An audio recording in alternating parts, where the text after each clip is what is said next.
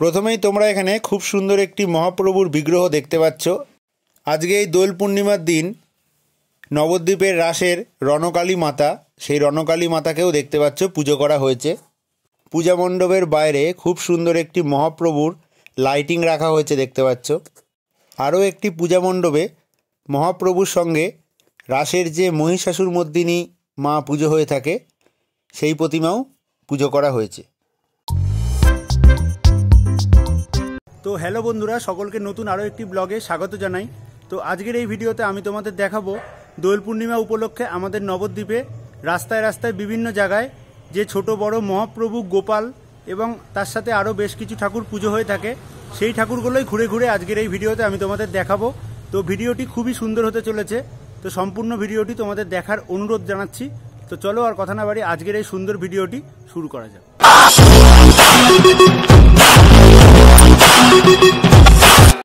তো ভিডিও শুরুর প্রথমেই দেখতে পাচ্ছ খুব সুন্দর একটি লাইটের গেট করা হয়েছে, যেটা দেখতে কিন্তু খুব সুন্দর লাগছে। প্রথমে যেই পূজা মণ্ডপে আমি চলে এসেছি, দেখতে পাচ্ছ নবদ্বীপের রাসের যে বড় মূর্তি করে পুজো হয় মা রণকালী, নবদ্বীপ রাধাবাজারে। সেই রণকালী মাতাকেও ছোট আকারে মূর্তি করে এখানে পুজো করা হয় এই দোলের দিন। মায়ের মুখ একদম সামনে থেকে এখানে তোমরা দেখতে পাচ্ছ।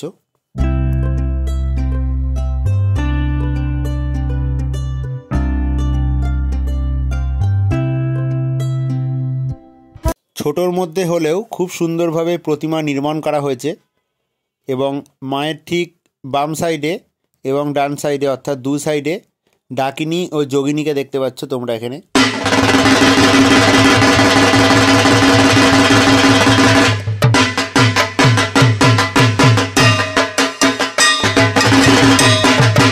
এবং রণকালীর পাশে এখানে মা শীতলা ও একটি মহাপ্রভুর মূর্তি করে তাদেরকেও এখানে পুজো করা হয়েছে, দোল পূর্ণিমা উপলক্ষে।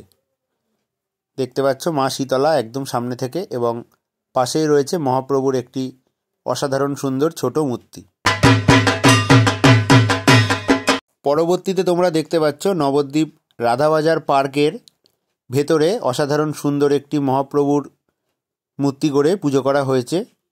খুবই সুন্দর মহাপ্রভুর যে সাজসজ্জা তা দিয়ে সাজানো হয়েছে এবং পেছনে খুব সুন্দর একটা ফুলের ডেকোরেশনও করা হয়েছে।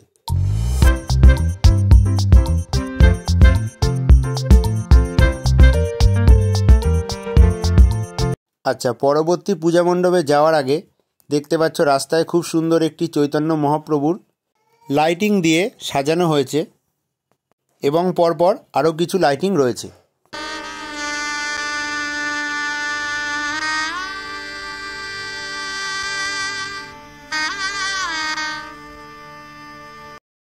পরবর্তী পূজা মণ্ডপ নবদ্বীপ মথিরার বাদে দেখতে পাচ্ছ মহাপ্রভুর সঙ্গে রাসের যে বড় আকারে মহিষাসুর মর্দিনী এখানে পুজো হয়, সেই মূর্তিও ছোট আকারে গড়ে মহিষাসুর মর্দিনী এবং পাশে একটি মহাপ্রভুর মূর্তি এখানে দোল পূর্ণিমা উপলক্ষে পুজো করা হয়েছে এবং এখানে কিছু সাংস্কৃতিক অনুষ্ঠানও পাশে চলছে।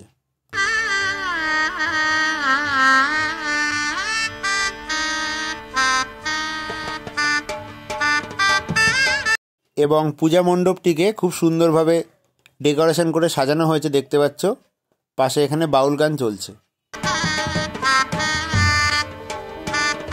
কুমোরটুলিতে নবদ্বীপের সব থেকে বড় যে গোপাল ঠাকুর দেখিয়েছিলাম, দেখতে পাচ্ছ, এখানে সম্পূর্ণ কমপ্লিট হয়ে গেছে। খুব সুন্দরভাবে গোপাল ঠাকুরটা তৈরি করা হয়েছে। নবদ্বীপ মহাপ্রভু পাড়া প্রবেশ করতে মেন রোডের ওপরে দেখতে পাচ্ছ, আরও একটি ছোট মহাপ্রভুর বিগ্রহ এখানে পুজো করা হয়েছে এবং পেছনে খুব সুন্দরভাবে লাইটিং দিয়ে সাজানো রয়েছে। নবদ্বীপ পোড়ামাতলায় মেন রোডের ওপরে দেখতে পাচ্ছ, আরও একটি মহাপ্রভুর বিগ্রহ পুজো করা হয়েছে এবং খুব সুন্দর একটি ঝাড়বাতি দিয়ে পূজা মণ্ডপের ওপরটা সাজানো রয়েছে।